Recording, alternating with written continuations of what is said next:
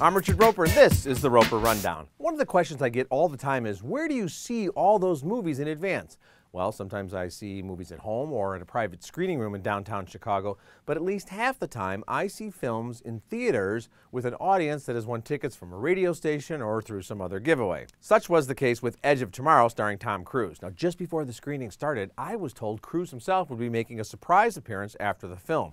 Nobody else in the audience knew, so it was really fun to see their reaction when the world's biggest movie star popped into Chicago to say hello. But thank you all for coming. You know, Chicago's always been a great city to me. You know, I made risky business here. You know, back in the day, Color of Money with Paul Newman. What's that? That's right, University of Illinois. Did you go there? All right. That's right. Looks like the University of Illinois. But thank you. I'm so glad you all enjoyed it. I really, I truly, I make these films for you, and it's uh, it's very special for me to be here tonight. And I want to come by and say hello to y'all. So thank you for seeing it. It's like University of Illinois.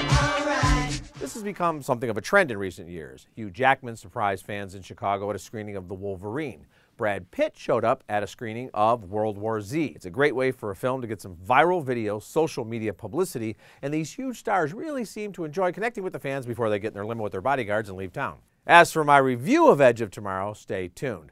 Nothing that happens in advance of a movie will ever influence a review. The reviews are for you, not Hollywood. Let's put it this way. I once panned a movie directed by Michael Eisner's son when Eisner ran Disney, and he was my ultimate boss on Ebert and Roeper. If I loved Edge of Tomorrow, I'll tell you. If it sucked, I'll tell you it sucked. In the meantime, if you ever win tickets to an advanced screening of a movie, stay in your seat through the closing credits just in case. Would y'all take a photo with me? Yeah! Can we turn on the lights here, or how do we do this? You sit right here. I sit right there. I'll, I'll get right here. Selfie. I'll come around. We'll do a big selfie. Can we turn the lights on in here?